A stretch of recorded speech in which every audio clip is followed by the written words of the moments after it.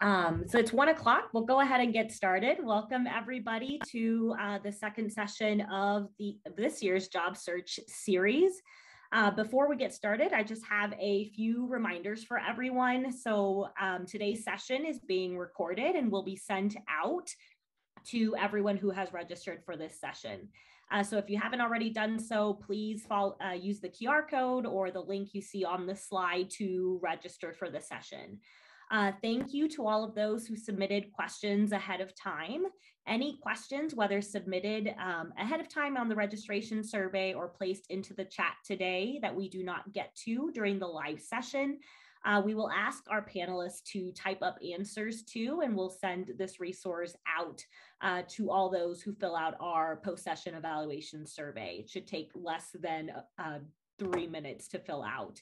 The link for the evaluation survey I will place intermittently uh, into the chat throughout today's session. And then um, once our session is wrapping up, I'll also pull up the QR code for that evaluation uh, survey.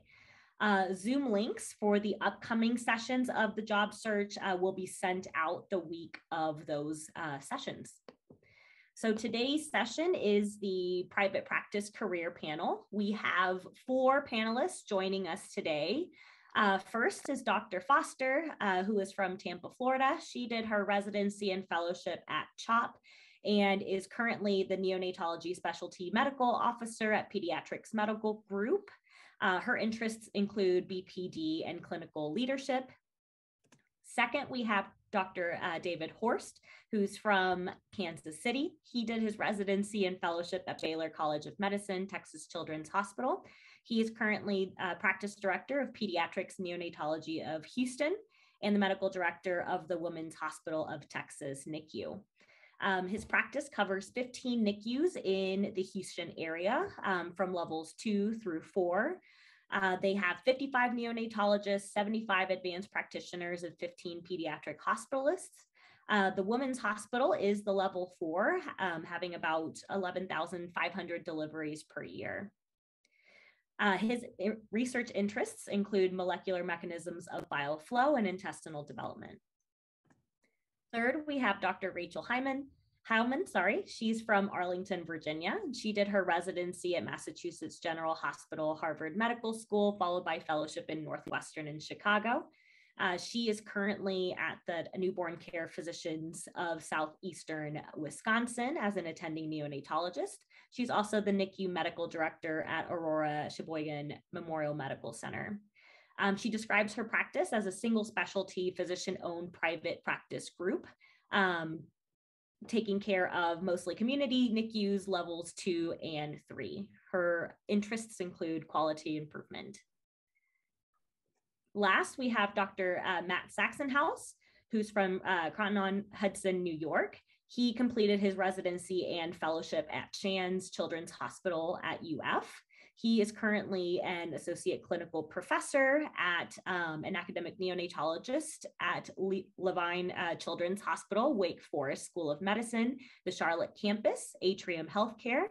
Um, academic here is in quotations as they are moving towards this, but they are still technically a private practice hybrid type group. Um, his interests include neonatal thrombosis, neonatal thrombocytopenia, neonatal platelet function. And our moderators for today's sessions are uh, Dr. Anisha Bhatia, who's our TECaN chair, and Dr. Katie Fritz, who's uh, one of our TECaN early career representatives. So please send um, both Anisha and Katie any questions that you may have during this session if you do not feel comfortable uh, placing those questions um, to the entire group. And with that, I will turn it over to them. All right. Hello, everybody. I'm Katie Fritz. Thank you so much for joining us. Um, we know that throughout fellowship, um, you get a really good idea of what life is like in academics and university based practices, but we're really excited to um, have some fantastic mentors and panelists talk to you about um, the opportunities available in private practice and how to get there. So we'll jump right into the questions because I know that there are a lot of um, fantastic questions that you'd like to hear about. Um, I will direct our first question um, to Dr. Horst. Um, and how should a fellow prepare his or her CV for private practice opportunities? Um, so I get to go first. So welcome. Thank you very much for having me. I appreciate the opportunity. It's it's a great chance to talk to a lot of the folks that are coming out. Um, and and uh, this is something I think I've said before. I really wish we would have had um, when I was coming out of fellowship. It's a, a real great resource. So um, the CV, um, it's I, I, would say especially different from an academic setting when you're coming out of university. I'll just think of how I would look at a CV. And and one of the questions that I've heard before is, you know, how how best to get that to somebody. I would encourage people to send things, um, email them directly to um, medical directors or leadership, um, especially. Um, I work with uh, Pediatrix medical group. Uh, they have recruiters, or we have recruiters. You can see from the way I just phrased that that we we try to do most of our recruiting ourselves. So I'd always encourage you to um, contact the directors directly. Um, the CV itself, we're looking at a little bit differently. When you're building a CV in a university setting, you're working towards promotion, you're trying to build your publications, you're trying to build your lab. Um, I was in that world for about four years at Texas Children's, and and it's it's a very different field to it. You're trying to build something around yourself um, that you're going to continue to move forward and bring to other places. The CV reads very differently. When I'm looking at a CV, um, I I don't expect it to be as long. I'm always interested in what things people have published, but when I'm reading the section of papers or what's been published or activities, I'm really just looking to see what somebody's interested in. I'm not looking at it so much to see um, how they're building um, project to project, that, that type of thing um, I'm really looking to see where they've been and, and, and as much as anything, focusing on their last job. So, really, uh, I think I, I, like to see what people have done most recently because the next thing that I'm going to do is talk to everybody that you've been working with recently as well. So, you'll do the usual thing where you're looking for patterns um, and how people have progressed through their career and where they've been. Um, but a lot of what I'll spend my time doing is focusing on um, the the people that you know and the connections that you've made more recently. Um, so I think a shorter CV focused more on what your recent accomplished uh, recent accomplishments are is very helpful for me. I'd be interested to hear what the other folks have to say as well.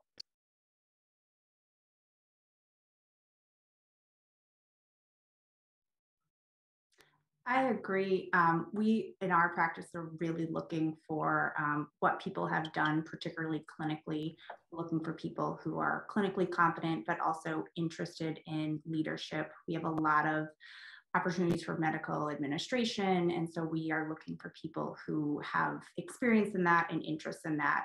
In terms of fellows applying, I think sometimes there's an academically focused cover letter where there's a lot of specifics about your research. And if you're applying to a private practice that you know doesn't continue that type of research it's helpful to make sure that you can translate how your research um, translates to the bedside or can be an asset in clinical practice I think those are the things that at least I'm looking for in our group. I think you that's I mean it's that's a good point. What you're saying is how can you turn that interest into a niche?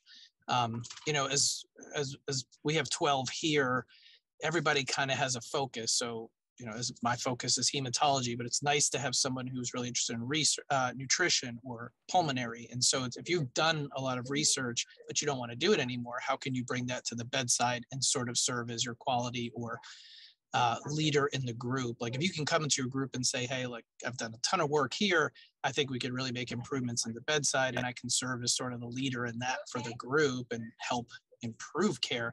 That's something I think stands out really well, uh, either on your CV or during the interview.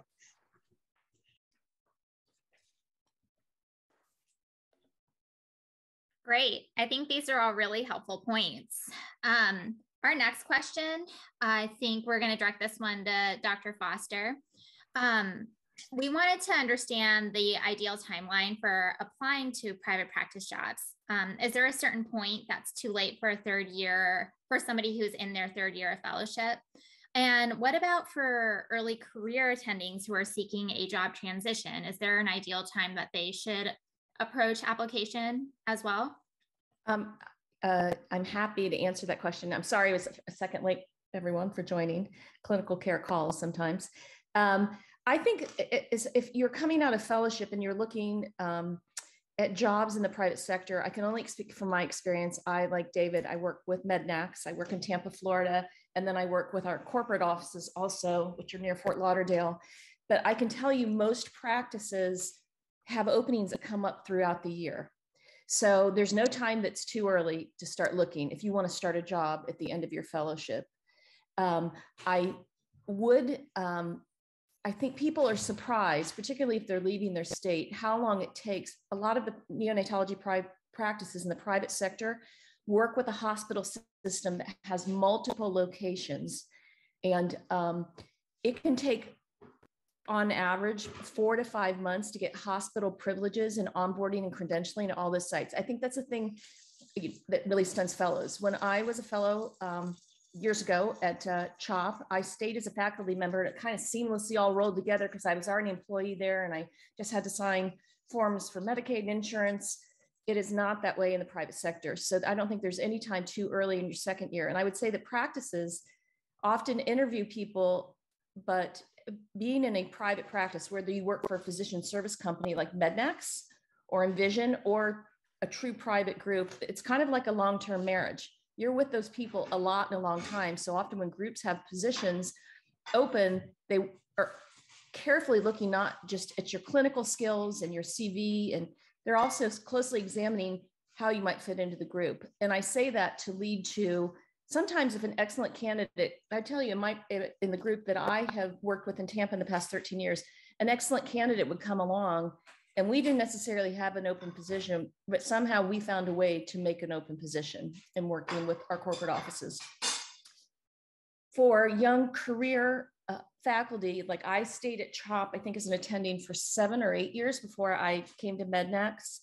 Um, it's the same kind of thing. Know that if you're wanting to make a move, it's not you're going to go interview and be hired and then start two months later. You're looking at a four to six month process. So I hope that answers the question. Okay. Thank you. Those are all really good points. Um, I would pose it to the rest of the group as well, just to see if um, any of the other panelists have any additional feedback on this question. I think it kind of depends on the size of the group. Like you were mentioning, smaller smaller groups tend to have an opening here and there. Um, and you may go years without one.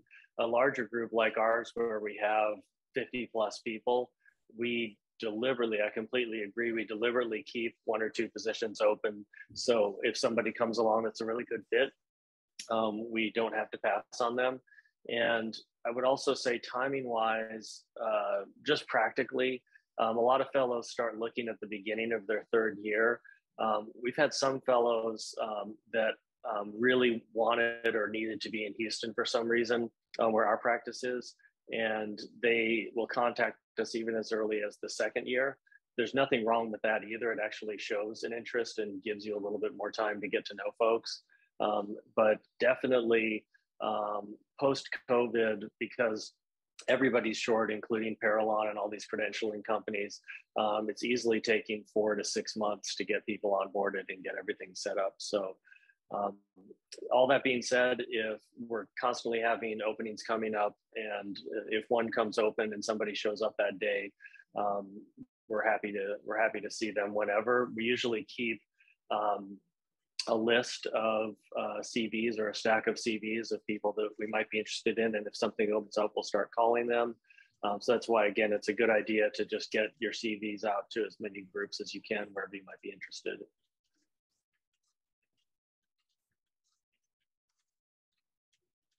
All right, thank you. Um, for our next question, I'll ask Dr. Heilman and then Dr. Saxonhouse about this one. Um, are there unique elements to the private practice interview that applicants should be aware of? Um, and what advice do you have for the interview day? Um, I would say one of the things that's different about private practice as compared to academics is there's a lot of variability in private practice jobs one in the clinical setting. So you, in terms of the level of care of NICUs and where you're working, whether it's two, three, or four, um, or a combination of that. But also in terms of the practice structure, whether it's a hospital, you're hospital employed, whether it's a multi-specialty group, whether it's a like a practice like ours, which is a single specialty physician-owned group. So I think it's really important to ask a lot of questions and try to understand what the specifics are of the private practice that you're interviewing for.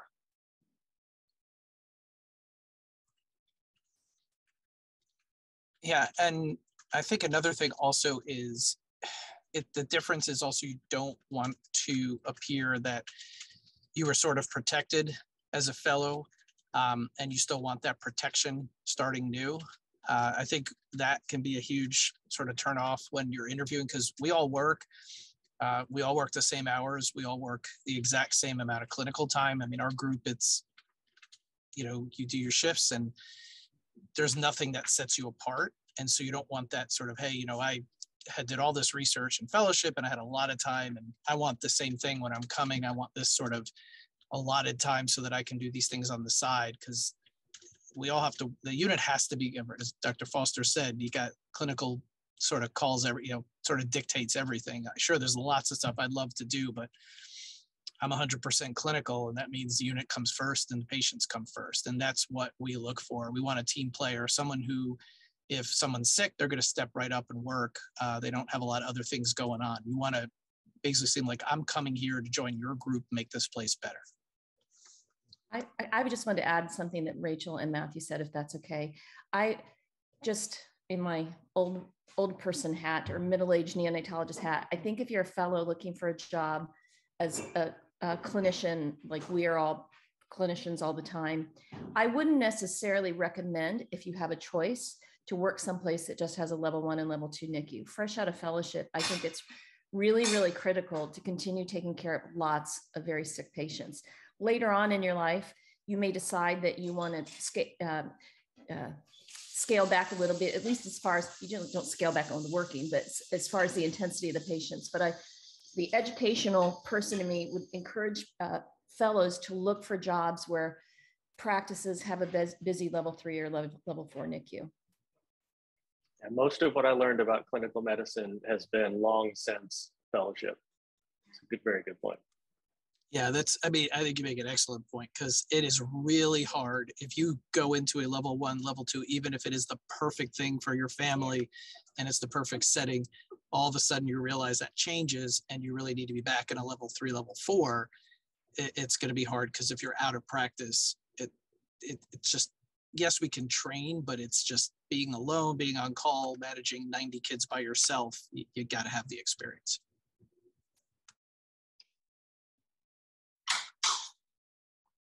Thank you. I think these were all really wonderful points. Sorry, did someone have anything else to add before we move on to the next question? Okay. So our next question um, focused on educational and or research skills. So the question was, what specific educational and or research skills or background do you recommend for someone who is specifically looking at private practice career opportunities? I think I can. Oh, sorry. You want to? If you want to oh, go first. No, go ahead. Go, you go first. I'll, I'll go. I'll um, second. I think again, it really does depend. So like where I am, which is a hybrid, if you are someone who's really into bench research and you don't want to do, you want to still do a little bit of bench research, it, it's almost impossible to do it at a, at, a, at a, even if it's a hybrid type group. You just don't have the time, you don't have the lab space. Um, so really what is somebody like QI obviously stands out or somebody who's had a lot of practice doing clinical trials, uh, farm-based trials. If you're someone who was active in your during fellowship, you know, doing sort of joint um, multi-center studies, things like that. That obviously is very helpful and can be done in private, uh, as can small sort of chart review type projects, things like that. But it's again, you're not going to have the protected time to do it. It's really going to be on your own time. So everything I do now is in addition and so you just have to be if you're if you're passionate about it great but you're going to have to do it on your own time so it's more of you know if you want to still do some research it's i can do it on my own time i'm good at helping you know an NICHD sponsored type trial or a farm based trial, getting it going in the unit, recruiting patients, things like that. That obviously is something that stands out. Yeah, and there are options to do that. Um, some of you may know uh, Kashif who's in our group, um, who gets a little bit, uh, earmuffs Matt, he gets a little bit of protected time to do his clinical research um, um, and has been very active. Um, and there are ways that you can do, and that's in a much larger group. I think it's easier to do something like that. Um, and uh, the contributions are a little bit different. Most groups, um, like you said earlier, everyone needs to be interchangeable if two people are doing different things, you have different groups of people doing different things. Um, it, it, almost immediately creates tension and other problems. You need people to be able to switch around and work as hard as they can. Um, I would I would agree bench research, which is what I did. My research interests, those were former research interests. I, I love doing it, but there's no way I could do that in private practice. Um, you can do some clinical research, especially if you're within a bigger organization. Um, the skills that I'm looking for, the skills that I think make people successful and they overlap with the leadership component um, is ownership. So, what we're looking for are people who um, own everything they do. So, if they get a patient and they don't know, uh, they don't know what the diagnosis is, or it's a new thing they haven't heard of before, they're going to read everything about it um, before they go home that day. Um, on another level, it's somebody that I can put in a unit and they're not going to stand for the fact that things aren't working. You know, they're out at a level three, they can't stand the fact that something isn't working well. Instead of complaining about it, um, they fix it. And in private practice, there are not as many layers of hierarchy and you can fix things. Um, uh, the kind of people who um, you put them in place and you can almost turnkey, forget about them, and you can trust them to take care. Those those are the kind of skills. Um, it, it funnels into leadership. It funnels into quality improvement projects if the way they're fixing things is in a much more structured format. Um, but those are the kind of people you've heard us say leadership a few times um, because your relationship with the hospital is a lot closer um, and your in another sense your business is dependent on that relationship with that hospital um, because um, the hospital has to want you to be there and think you're adding value um, to the situation. And uh, you want people that understand that and um, function to always bring the group up and, and take care of things. Um, so that that's the real overarching skill I'm looking for is ownership. I think I'm also, I, I agree completely with what David said. I think, you know, that uh, something I'm, I just uh, stepped down as a practice medical director after 10 years. Something I'm always looking for also is intellectual curiosity. I think, and sometimes mm. it's easier to be a junior fellow, a junior faculty at where where you trained or another big institution because you have so many layers of experts in pharmacy and the geneticist is there and you have a metabolic specialist um, many practices that are in a private setting across the US don't have those level of resources. So you really need to be intellectually curious. I think I became um, a, a, better neonatologist when I was in the practice setting, just seeing patients all the time and not spending my time in the lab. And now I'm not denigrating that. There's there are hats for every head in neonatology. That's how we move the field forward. But I think when I was forced with um, having complicated patients that I had to look up things myself or figure them out, it really increased my skill set. So I'm always looking for somebody who is um, a self starter and intellectually curious. I always get irritated when people say, "Oh, well, you left you left academics or in academic medicine." And I would posit to you that you can be in academic medicine in every phase of your career forever uh, David and myself and the others on this panel, we're just not in a university based setting, but I could bet you we're academic. I agree with everything that's been said. I think one of the things that we look for is kind of an attitude to service. So, how can I help my colleagues? How can I help my patients? But in addition, how can I work with our MFMs and our OBs to create better processes and systems? But also the hospital system and the administration to function the best running unit possible. So we're looking for people who want to improve and have kind of an attitude of service to make the best unit possible.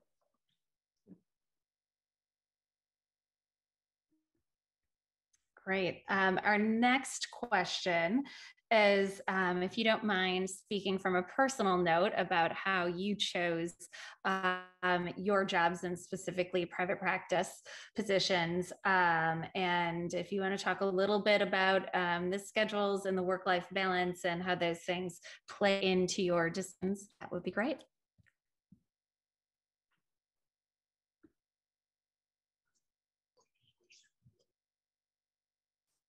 Do you want to just tell us who to go first? We've also we've also you, learned. You can go first. yes. Okay. okay. We'll, we'll, we'll assign the questions for sure. I, I'm pretty sure you're dealing with four people that tend to talk too much in meetings and don't want to take them over. So you need to tell us who to go first. Yeah. we can do that. True. All right. Um, yeah, Dr. Saxon, so you want to start? Sure. Um, so yeah, I had I was I stayed in academics for like six or seven years after at Florida, and it just got tired of. I had my KO K08 submitted, and just realized was had a child newborn, and realized sort of like there's always the triple threat, and I think people forget about the fourth threat of also being a good parent or a good husband or wife, and honestly.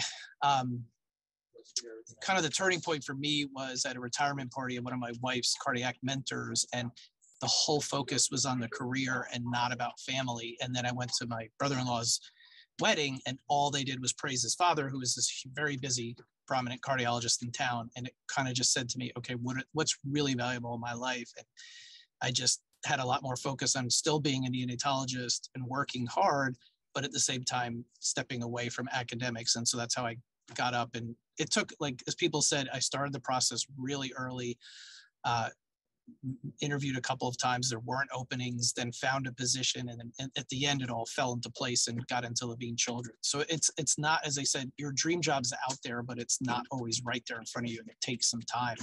Um, and it's just a, for me my wife and i who are both physicians we just realized like our first vacation away from again not anything negative at academics but our first vacation when we were here I didn't have anything to do on the side, and it was so nice. I, nice. I actually enjoyed my vacation for seven days and did not think about anything outside of work. Um, and so that, in terms of balance, it's you work hard, but at the same time, if you want a family, family's big for you. I think it, this helps a little bit more, have a little bit more work-life balance. Um, I still work bad hours. I still do in-house call work 24s, but I also get a lot more time to be with just my family and not focus so much on getting a grant done, getting a paper, and really fulfilling all that academic need.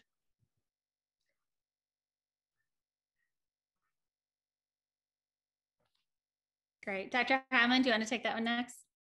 Um, sure. I think when I really sat down and thought about what gives me the most satisfaction in my career in neonatology, I realized it was being at the bedside and patient care.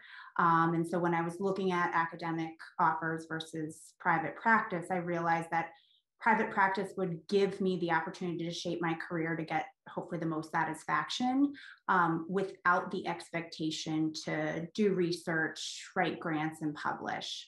Um, and similar to to Dr. Saxton, I when I came out of fellowship, I was in a busier season of my life, and that my children were very young my father, um, who I was the caretaker of, was battling cancer. So I was fortunate enough in that initially our pri- the private practice that I joined was I was able to take a reduced FTE, and the difference in compensation also helped allow me to do that. Um, and then, you know, as my life, my children have gotten older and I've had less responsibilities at home, I've been able to increase my FTE again. So having the flexibility to do that was really important to me, and private practice offered me that opportunity.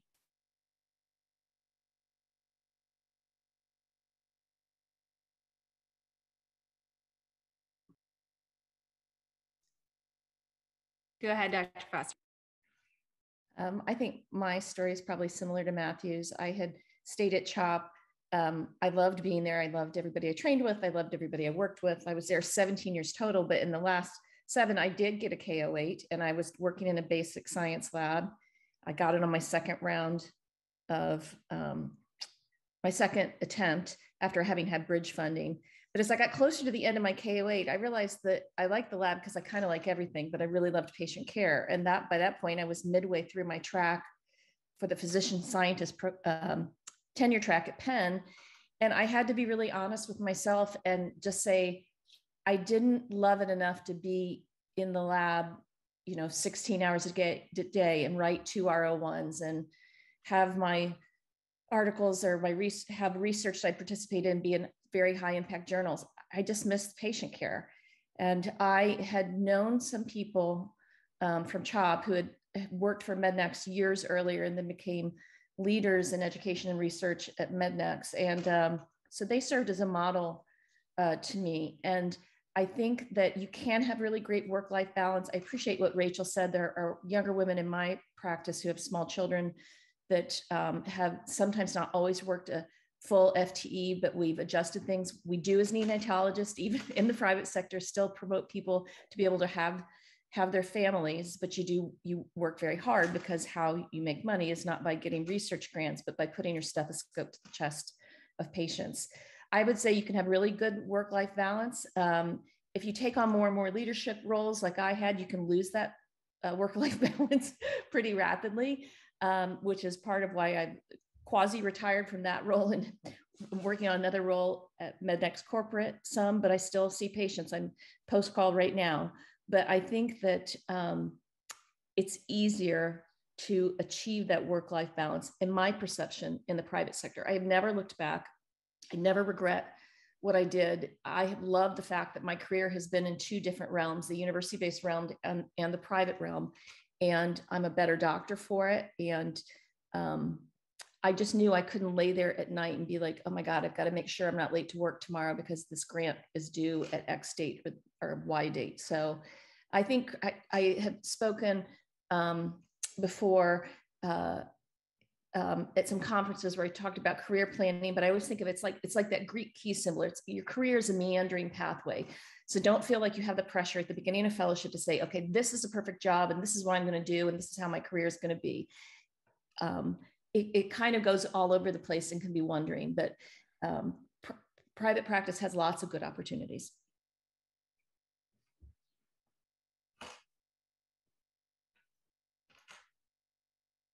And uh, I, am an example of that meandering pathway a little bit. Um, I was, uh, are we ready for me now? okay. Um, I was at Texas Children's, stayed there, loved it, loved everything I was doing, working on my K08. Um, my brother, who lived up in Colorado, had hypertrophic cardiomyopathy, and it turned out that he went into failure and needed a heart transplant uh, just a couple years older than me. And we decided that we wanted to be closer to him in Colorado. Um, that sort of gave us the momentum to start heading that direction. Um, I deep down, I didn't like the bench research. I, I, I, liked it a lot, but it wasn't something I wanted to make a career out of. I liked being um, with patients, but I, I, even more specifically, I liked figuring out how NICUs run. I got really interested in all the different pieces that you have to put together operationally to make a large NICU run. And in what I discovered, I can't say that I intentionally sought it out, but one of the most important things I discovered when I went into private practice in Colorado at a big unit um, was that um, a lot of the layers went away and I could accomplish a lot more a lot faster, um, still in a very safe thoughtful academic way. Um, my first experience was in 2008. I went to um, the Hot Topics meeting, and it was the one where all the three people that did the big hypothermia studies got up and talked about. Um, we've reached the point where I think it was Ann Stark said at the end of all of it that now we need to start doing it. It's not academic anymore. Brought that back to the practice which is a regional one, and was able to. I, I came back. It, it's so different than at a large institution like Texas Children's. I came back and said, you know, we should be doing this now, and, and explained to everybody why, and everybody agreed. And they're like, okay, then go do it. And so, so it was me setting up the program, me going out to a five state region, telling people that they were on a six hour timer now, uh, setting the whole thing up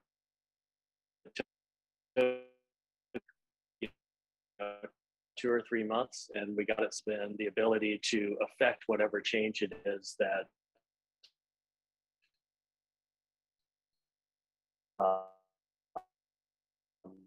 uh, whatever. Um, that that's been one of my favorite parts about um, being in private practice for sure. I miss uh, teaching. Um, I miss having fellows for sure. Um, that that's the part in the middle that I think um, I had to I had to trade off. But um, I've really enjoyed being in private practice and having the freedom to really feel like I was contributing to how everything works in a very direct way.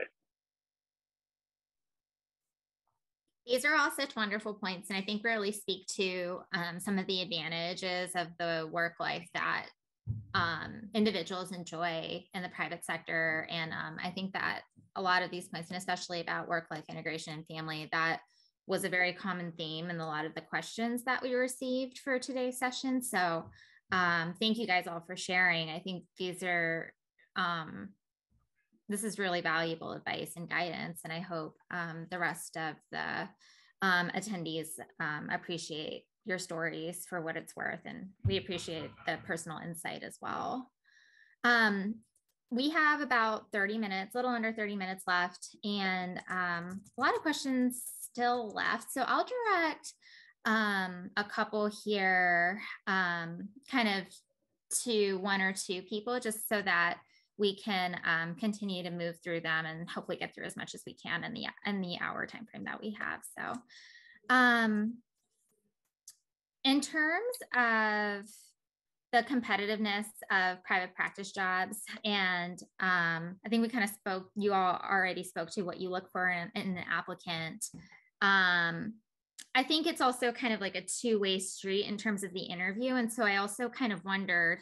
Um, if you had advice on questions that you would advise an applicant to ask to a given practice to gauge things like work culture, practice patterns, um, and um, how interview candidates are evaluated specifically. So I think I'll direct this one to Dr. Foster. Um, and specifically, I'll, sorry, I'll reiterate again, the questions were um, about competitiveness and how to focus questions um, to gain information that's needed about the practice, but then also um, to present oneself in a way that makes them a competitive applicant for the position.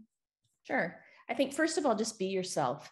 Be honest about why you're interested in the practice and what your goals are, and um, what you think is interesting. I would say, um, having interviewed tons of applicants over time, it is okay to ask about money in the schedule, but don't start that way. I think a lot of young candidates make that mistake. Well, how many calls do you have a month? And like, what is the average salary? Those are important things to ask, but don't have those be your leading questions. Find out about the practice. Ask about the practice culture. How long in the people? How long have people in the practice been there? Where are they from? I think it's good to have a diverse group if you're able to. We're not everybody is from the same institution and trained the same place. Um, get a sense, then, if you can, you can ask about deeper in about the financial health of the practice. Um, I think those are all okay things to ask. I interviewed with a practice where um, half the people had left. This is 15 years ago in the prior five years. And I was thought, red flag and it was a red flag that practice was imploding um, so finding out that a practice has not how many people have you had leave in the past five years my practice in tampa it's um, one so for retirement so i think those are good things to ask when it comes to asking about money and schedule i think those are important things to ask but i wouldn't do them at the top of an interview because you don't want um, a practice or practice leader, the people you meet, because they're working so hard. You don't want them to think your utmost concern is the schedule and the money. Yes, those are high concerns. They can go along with all the other concerns. I just wouldn't lead with it. So my two, my two cents.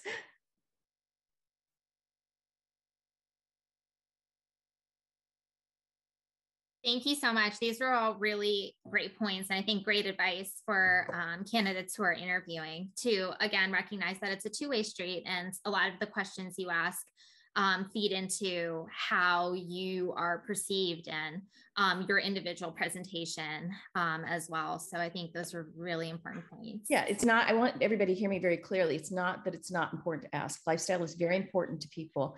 It's just where you place them in the interview that I think can really um, help you to shine. Because what you want to know first is this a group of people I can work with? Work with? Are these smart people? How do they view the culture, the practice? And then you get to some of those nuts and bolts later. Mm-hmm. Um, I did want to ask a follow up question about one of the points you brought up about financial health. Um, what kind of questions do you recommend asking that sort of um, provide a greater understanding of the financial health of a practice? Sure, you can ask questions or how is your salary structure within the practice? Is there a bonus? How's the bonus distributed? Who makes that decision each year? Um, has the practice taken on new NICUs or e- increased in size over the past several years? Uh, so those are a few things I can think of that, that give you a sense of that. I don't know what others have. Other people may yeah, have the, better. The financial the financial health of the practice is is almost directly related to the relationships with the hospitals and the contracts that you have with the hospitals. So asking how long have you been uh, you know it's important to know exactly what nicus that they're at but how long have they been at those nicus and are there any current threats to them not being at that nicu anymore? Um, is, is something changing? Because there's a lot that moves and changes. The the way that a practice really can have a downturn is losing a big contract at a, at a particular NICU um, for some reason. Um, outside of that, um, outside of that, it's pretty hard for there to be big shifts. So the length of time that, that they've been at hospitals and and how uh, uh, whether there's any impending changes in those contracts, all that other stuff you said is very important too. I think I would throw in um, asking the I, would want to make sure that I saw everybody, met everybody in the practice. That always goes a long way um, to make sure that um, uh, everybody is interested. You want to show your interest in the practice by having some connection and some reason why you want to be there and make that clear, whether it's family in town um, or you want to live in that town for some reason. I've, I've gone from recruiting in Denver, which anyone could do, to recruiting in Houston, where we're really looking for people who have connections to Houston because that's what tends to make them stay. Um, uh, I agree with saving the money conversation for last, though it's it is very important. Um, and uh, get to know the people. The a couple of things for culture. One is getting to know everybody in the practice, asking personal questions. Not by personal, I mean getting to know um, all the people in the practice that you might be joining, because these are going to be people that you spend a lot of time with over a long period of time. Um, so it's important to get to know all of them. And I would also, one of the things that I think is important, I'll end with this, is know how you're going to be evaluated. It's a real red flag if um, there's not a good answer to that question. So you, you want the kind of practice where you're going to get good, transparent feedback and the kind of place where they're going to try to grow you. I'm looking for people who are willing to tell me when I do something wrong and can provide me with constructive criticism. And I want them to be able to take constructive criticism back. And there has to be a formal method for how all of that takes place. And if you find a practice where, where there's no real structure for that, um, I would see that as a bit of a red flag too. I, I just, I think those points are brilliant. I would add here that I think you should also be in a practice, and I, I've learned this sometimes the hard way, where the leaders are evaluated. So to ask about that, how are individual physicians evaluated? Mm-hmm. How's the practice leadership structure? And what opportunities are there for the people in the practice to evaluate the people leading the practice? Yeah, I'll give you for, for an example. and of course, I think this is the best way because it's the way we do it. but we do a sur- we do a survey monkey twice a year um, that has questions like does this person arrive on time and have good sign out? Is this person good to work with? Do they leave you know a bunch of questions like that. Um, everybody we go over everybody's individually and then at once we've gone through everybody else's we have a meeting where i put mine up. Um, now now we can do it all by video but i put mine up and we go through it one by one and i show what everybody so i know that every everybody knows that what they said is going to be out there and we go through all the things that I can do better every year. It's painful, but it's helped me grow as a person. And I think you want leaders that want to grow. Great, thank you. So, um, following along with um, some of the points that you brought up, we clearly have a lot of different, several different types of private practices represented on this panel today. Um, so, Dr. Heilman and Dr. Stasnos, if you could each tell us a little bit about um, your practices, organization, and setup, um, just as the fellows are learning a little bit more about all the options that are out there, that would be great. Um, I can start. So I work with a practice. There are, we are single specialty physician owned. So we have 25 neonatologists. We have contracts with three different healthcare systems in the Milwaukee area and the surrounding area. And we staff all of their level two and level three NICUs. Um, I think one of the benefits of being a physician to own group is that everybody has its own our say we um, vote on what contracts we are going to continue with and keep on with. We can help structure our staffing models. So we really get a good idea and can help develop our um, roles. Um, the other thing is that we can look at our contracts and know what our staffing needs are. So we can either hire more if some people want to decrease an FTE and have a partial FTE. Um, and we do allow our partners based upon, you know, other things and their responsibilities outside of work to change their FTE over the course of the years. Um, and we can do that because we can anticipate our staffing needs and decide that we're going to hire more um, partners. The old pink house. And then, excuse me, in we are much different than that. Um, so, I we're part like my group. We are it's um, Levine Children's Hospital. So there's 12 of us here who cover the level four nursery, uh, but it's all part of Atrium Healthcare, which has become probably one of the biggest healthcares I think now in the country. They just merged with a group in Indiana, it's in Macon, Georgia, and then it joined with Wake Forest School of Medicine. So it's starting, it's trying to bring this sort of academic flair into a private practice setting. Um, but we cover, as said, we have a about a hundred bed unit here. And then I have other partners who only practice and we have a level three nursery that's a 20 bed unit. And then there's also a five bed level two unit and another 10 bed level two, and another five beds. So we, I think we have like 20 somewhat partners total. But in this type of setting, you can, when you interview, it's you're you sort of know where the opening is. So either you only practice level four or you practice in a level two, level three, or like more level two. So you can kind of choose. Um, but it's just, it, it, we don't honestly have as much say. We're sort of, there's a lot of administration uh, on top of me. So you are sort of, your salary, everything's sort of geared and sort of provided to you and you have a yearly contract that you sort of get to approve and if you don't then you can kind of walk um, not as much bargaining power per se so it's just really working for a corporation in this case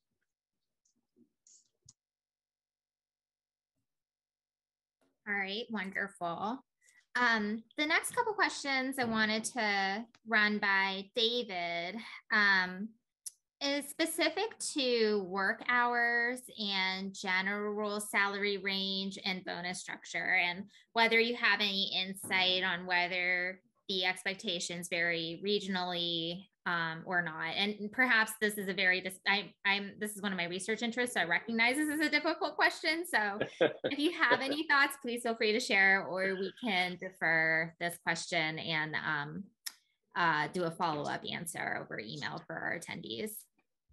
Well, I think I think it is going to be somewhat regional. Um, I think in general, um, if you've been studying this, you've probably found um, salaries at university settings are getting closer to what private practice settings used to be. Private I think they're all kind of meeting in the middle across the country as a whole. Um, the I'm, I'm glad that we have multiple kinds of practice structures represented here because um, if you're in uh, basically if you're working for a hospital in some way or a hospital corporation set setting um, you probably have the least um, bargaining power um, I think uh, with Pediatrix uh, or um, Envision or one of the physician management groups, you're kind of in the middle. You do have some amount of bargaining power um, as a group. And as a practice director, our role is to um, get the best compensation that we can for our team. Um, and then uh, in a setting where it's a physician owned group, um, you obviously have a lot more control over um, uh, over your future and how much you can always hire more people,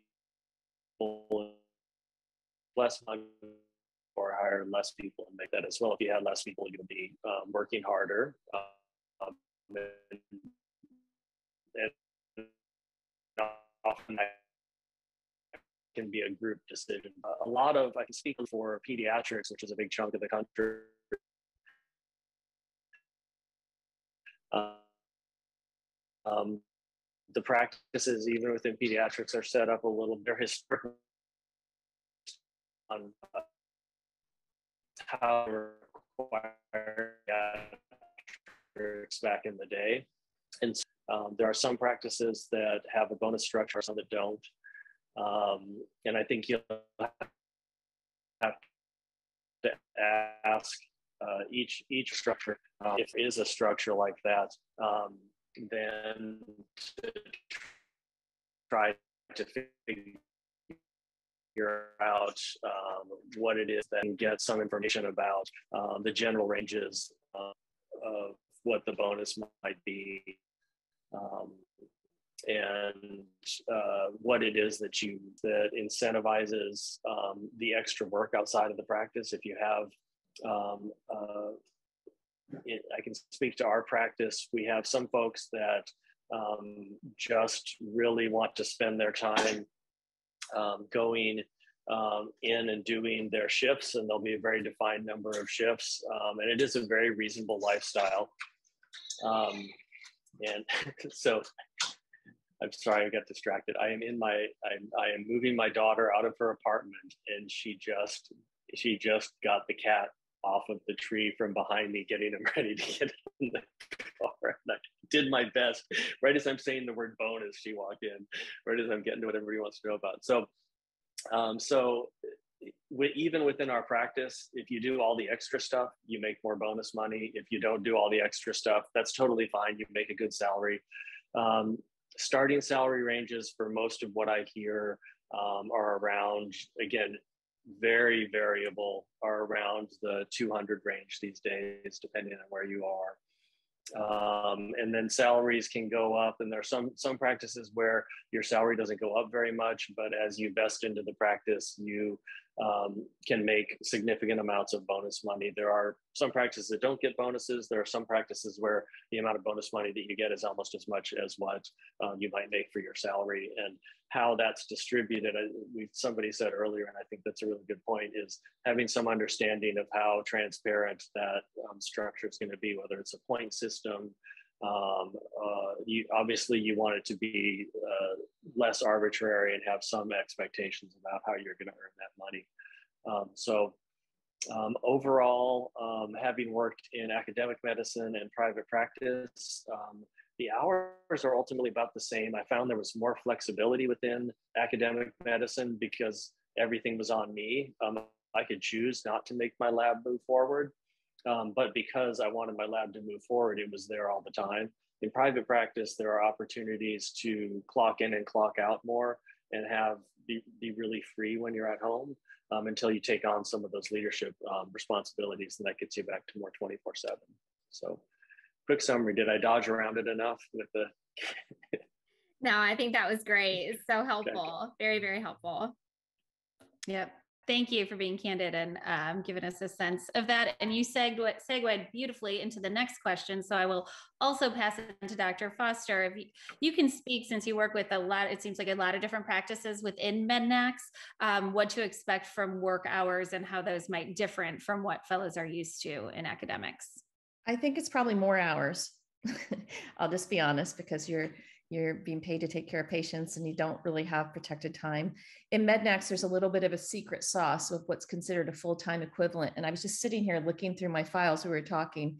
It's just north of 2,000 hours um, a year. So it's a number like, I don't know, maybe David can remember 2020, 2200. It's about 40 hour. what what 2080 thanks see 2080 or 2180 depending on yeah, how right. mac talks about it correct thank you thank you. I just was I'm, i have post call brain. So um, they those are the kind of hours you expect to work. Now that sounds like a lot of hours but when you divide them you may have weeks where you work you know an 80 hour work week and then you may have a week where you don't work at all. So there's a lot of flexibility built into it. And then what was the other portion? Oh i can tell you because i'm a i'm a especially medical officer for Mednax for the southeast so i get to see a lot of practices. I would echo exactly what david says practices have all different types of structures that they set up um, as far as profit sharing bonus plan et cetera.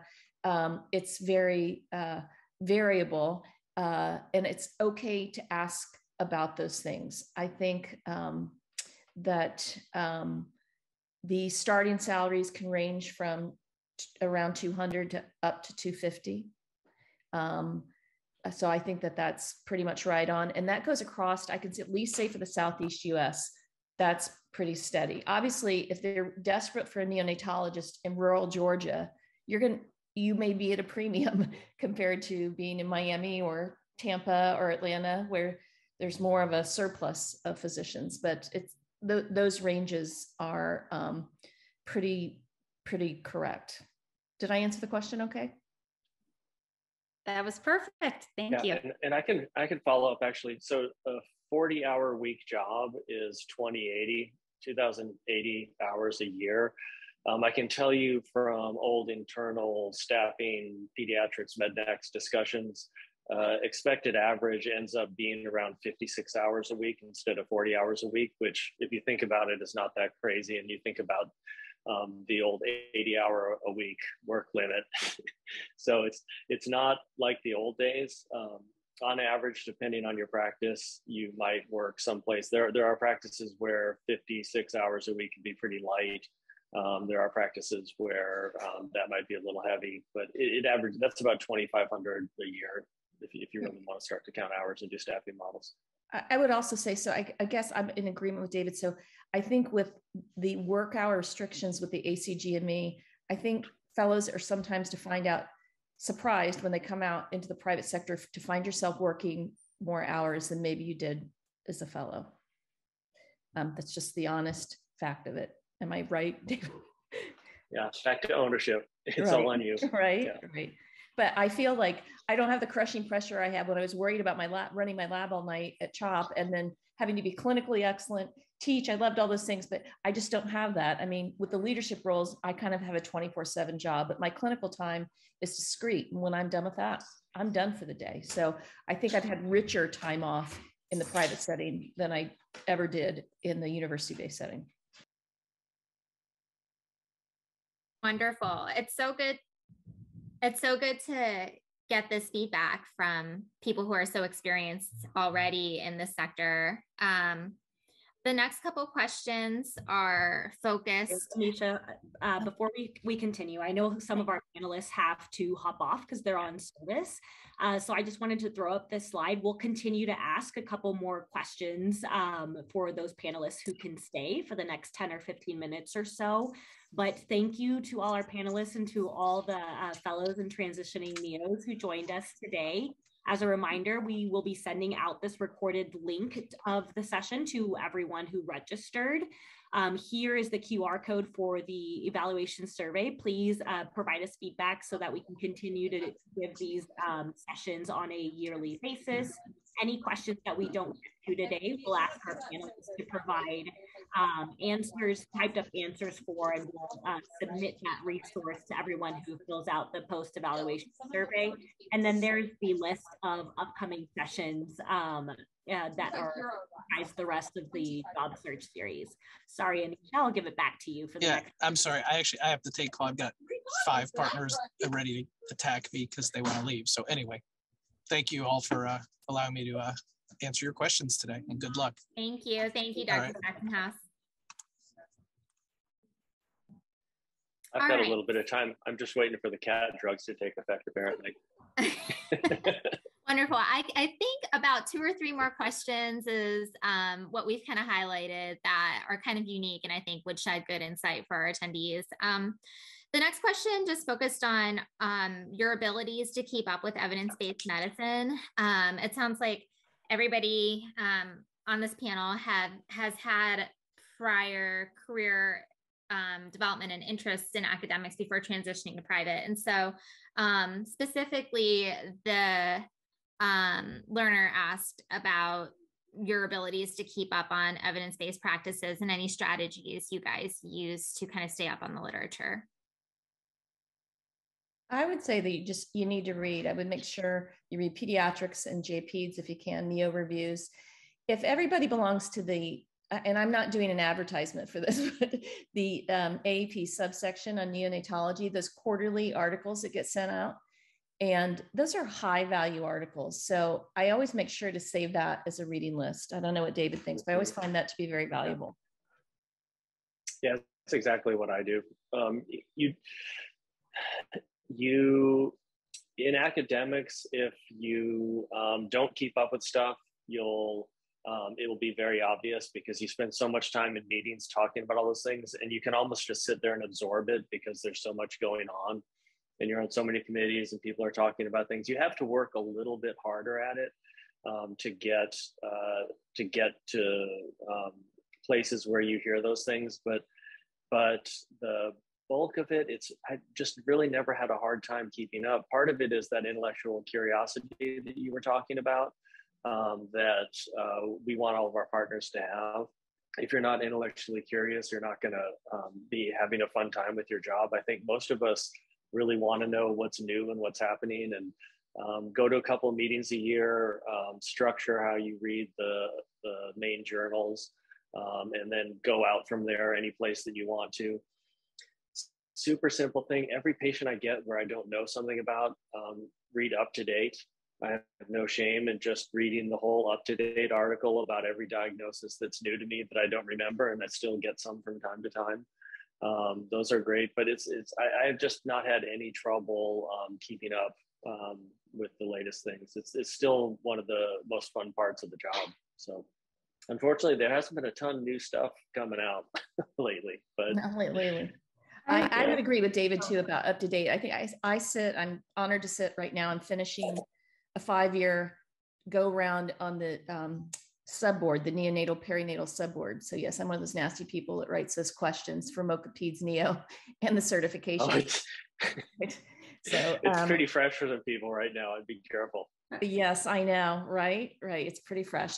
Uh, but I, I would tell you that with the other eight people I sit with, when we are having an argument about a question, everybody whips out UpToDate. So I think it's worth it. Um, it'll have references and you can look things up. There's no shame in looking things up ever. Just remember your textbooks, they're great for core knowledge, but they're generally four or five years behind in some things. So when it's something rare or something where the things are changing, UpToDate's a good source. I agree. I think in private practice, it does take a little bit more initiative to make sure that you're maintaining up to date. I think now with technology, there are so many resources online, whether it's evidence based neonatology or the incubator, always doing reviews of the latest articles and the AAP. So I think it always, there's good places in podcasts and neo Twitter where at least you can see what the latest articles are and then go to the primary literature. I just learned about Neo Twitter from Kashif the other day. I didn't know that was out there. Great resource. Listen to That's the, excellent. Yeah. Listen to the I listened to the incubator. I think that was brilliant that they started doing that. There's uh, um, a, a, lot of resources. It's very different. You're in a meeting now and that somebody says something that you don't recognize and you can pull up UpToDate or um, look look up an article while you're just sitting there. It's not like it was 20 years ago when when that idea came out there that you're going to lose all of your knowledge. And they used to always say you're going to lose all your knowledge in five years after you're out. Did you guys hear that one back in the day? That was the yeah. rule that the chiefs all told you. It's just it's just not true. I think you may have the zenith of your book knowledge like the day you sit for the board exam, but yeah. Um, here's the good news: you won't you won't kill anybody because you are going to your hard drive does get full but i think every neonatologist with their salt is looking stuff up all the time so you you retain the core of what you know but your clinical skills and your breadth increase over time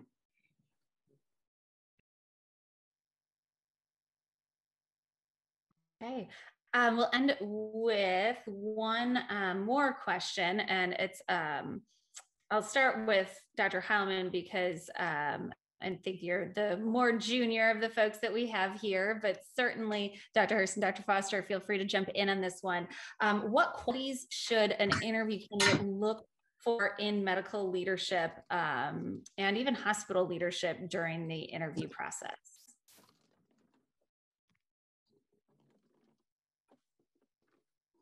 Sorry, I was on mute. Um, I think some of it we've touched on previously, but I think looking for a medical director who is interested in providing mentorship to the younger partners, um, really trying to figure out what the younger partners are interested in and whether it is quality improvement or medical administration, helping them navigate what opportunities are available within the healthcare services or within the healthcare systems that you serve. Um, I think also it's important to ask about their relationships with other subspecialists, whether it be their, you know, other subspecialists, their their cardiologists and their neurologists um, that help support the unit, but also about how they interact with the healthcare system administration and their contracts, how long their contracts are when they're up for um, renewal. So I think that gives you an idea about one, how the practice is the health of the practice, but also what your opportunities within the practice can be and how the older partners can help you optimize your own career and what your own career ambitions are within their structure. Hey, I'm just finishing up a meeting. How's it going? I think I'm getting it. Yeah. Wonderful. Um, and Rachel, I think that was a really good segue into our last question, um, focusing on mentorship in the practice group that you are seeking to join. Do you have any advice on how one might potentially approach a partner or potential future partner about mentorship or any questions an interview candidate might ask to gauge like goodness of fit for potential future mentorship that kind of fits career goals for that given applicant?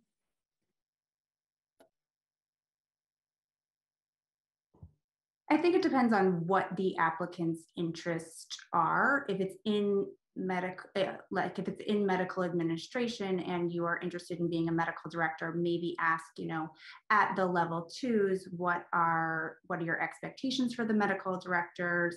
And do you see any availability in the next five to ten years also sometimes we have assistant medical directors at a level three so you could ask about what qualities are you looking for somebody to be a medical director, either at a level two or a level three? But also, I think really being eager to get involved in um, the administration. So if you are interested in quality improvement, ask what types of committees they have at the hospital organization to look at, you know, outcomes for maternal and perinatal um, outcomes. So really verbalize what you're interested in to try to seek out what opportunities are available for you.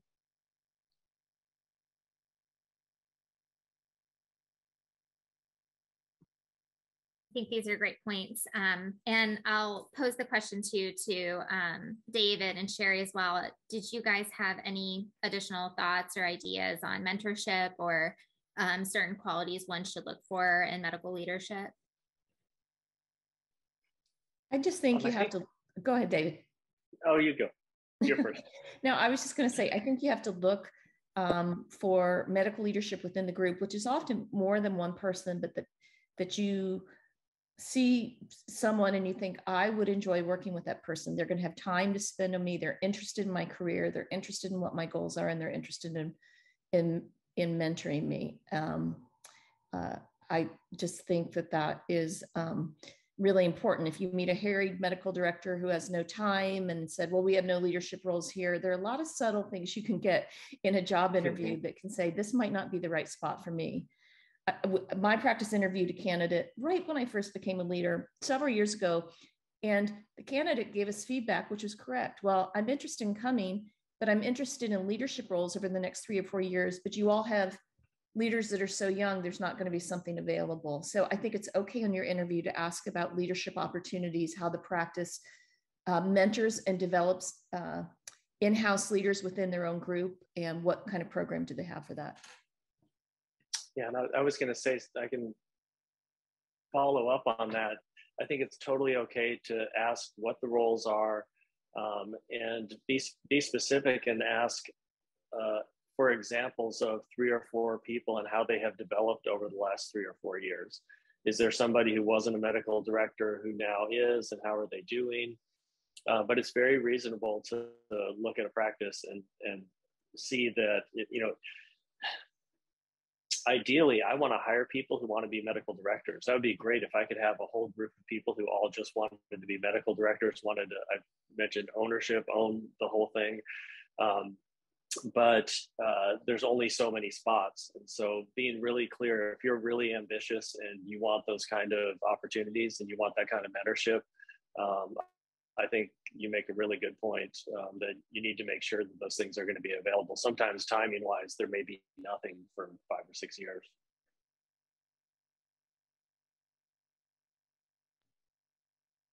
Well, these are all really fantastic points. And I hope that for our attendees that are still on um, that they've gained um, a lot of insight into the process for interviewing for a private practice position. Um, I know we're a little bit over, but just wanted to say thanks so much. And I'll also um, pass off to Nicole, who I think has some more specifics about um, survey completion and things like that before we um, sign off. Thank you guys for such a wonderful session.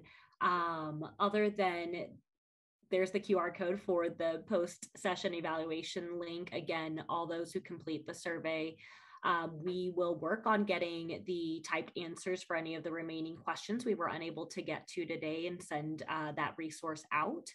Um, as soon as the recorded link is available, I will be sending out um, the link to everyone who registered for the session. And we'll do this for all the upcoming sessions as well, just in case. I know that sometimes these early afternoon um, sessions are hard to get to if you're on clinical service or have other responsibilities. But thank you so much for taking time out of your day today to our panelists and uh, to also our registrants and spending the afternoon with us. Thank you so much.